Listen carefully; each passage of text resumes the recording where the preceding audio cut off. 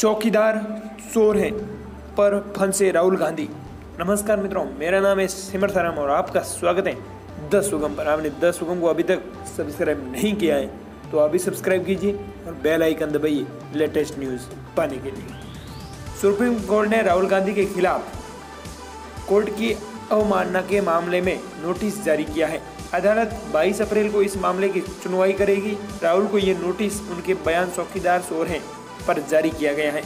Supreme court ने साफ़ कर दिया है कि हम ये स्पष्ट करते हैं कि राहुल गांधी ने इस अदालत का नाम लेकर राफेल सौदे के बारे में मीडिया व जनता में जो कुछ कहा, उसे गलत तरीके से पेश किया गया है।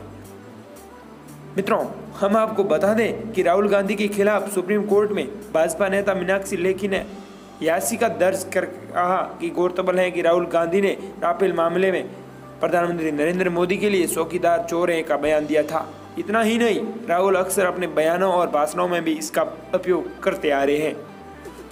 सुप्रीम कोर्ट ने राफेल डील जुड़े जुड़े जो फैसले पर पुनः विचार याचिका को मंजूर किया, जिसके बाद राहुल ने टिप्पणी की कि अब सुप्रीम कोर्ट ने भी मान लिया कि चौकीदार चोर हैं।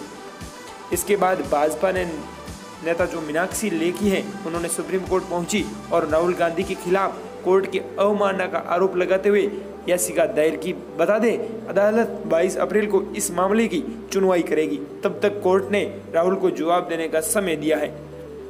इस संबंध में राहुल गांधी पर केंद्रीय मंत्री प्रकाश जावड़ेकर ने निशाना साधा। उन्होंने कहा कि अब राहुल गांधी के पोल खोल चुके हैं।